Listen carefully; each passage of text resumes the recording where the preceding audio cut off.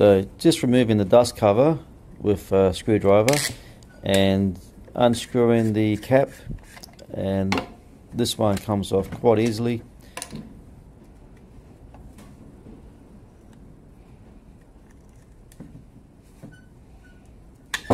Just using the screwdriver once again just to apply the um, bush out and it should come if it's not um, seized in there from electrolysis. In this case it comes out quite easily.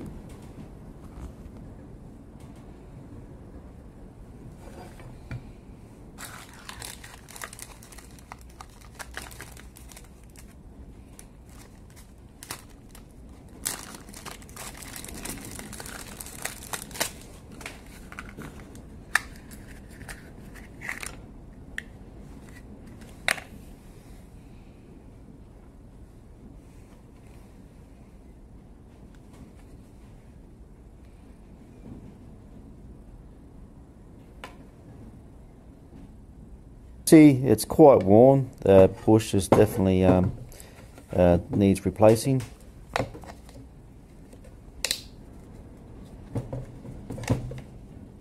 Okay, so this is the trouble side.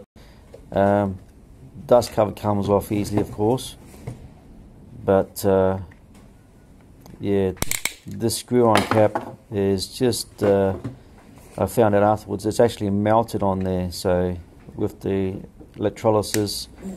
Uh, it's all seized up internally, um, including the uh, uh, the bush itself, um, severely uh, sort of like uh, melted into the plastic casing that holds the the brush, uh, the bush. So yeah, actually the brush. So um, yeah, I tried a few things. I tried WD-40. I tried pliers, um, and I'll just show you how it I do get it out in the end.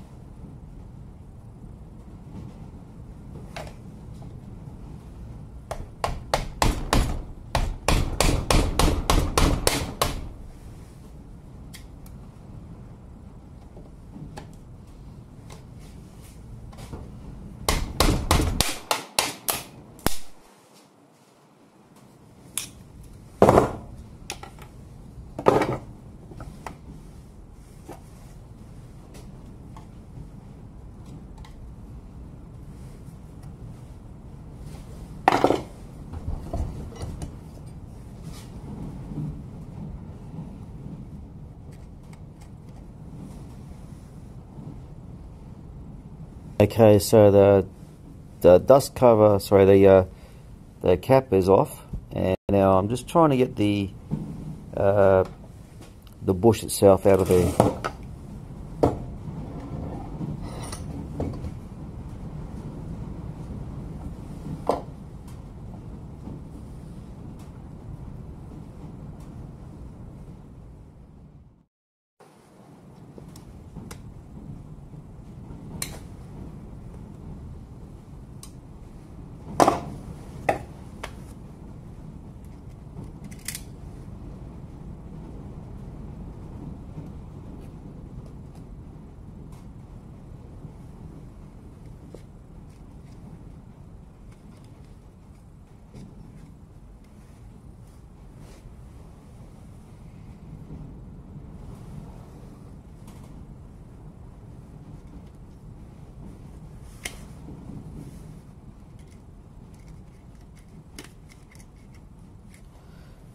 Bush, uh, it, it still hasn't come out, but part of the assembly has come out.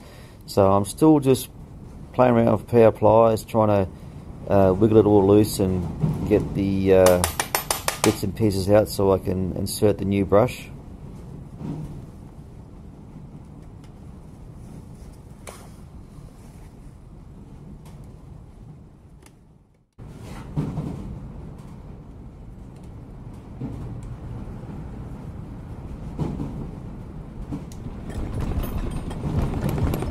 So yeah, just using the pair of pliers just to try and wiggle that metal that's just uh, embedded in the plastic casing. Um, and now I'm using the pair of pliers just to try and ply it open a little bit wider to try and extract it.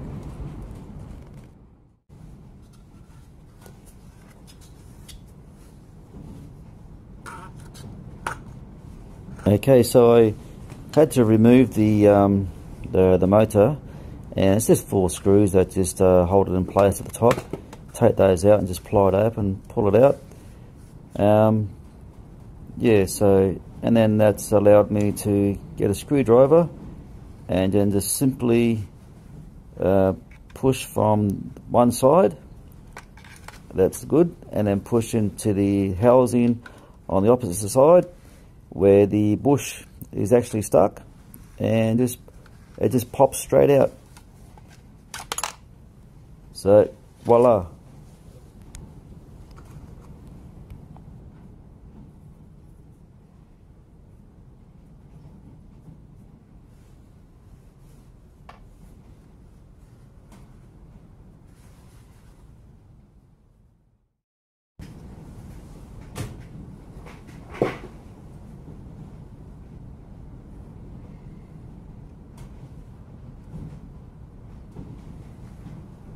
So we still have trouble with a few bits and pieces of uh, metal that are still housed in there. So we just got to ply those out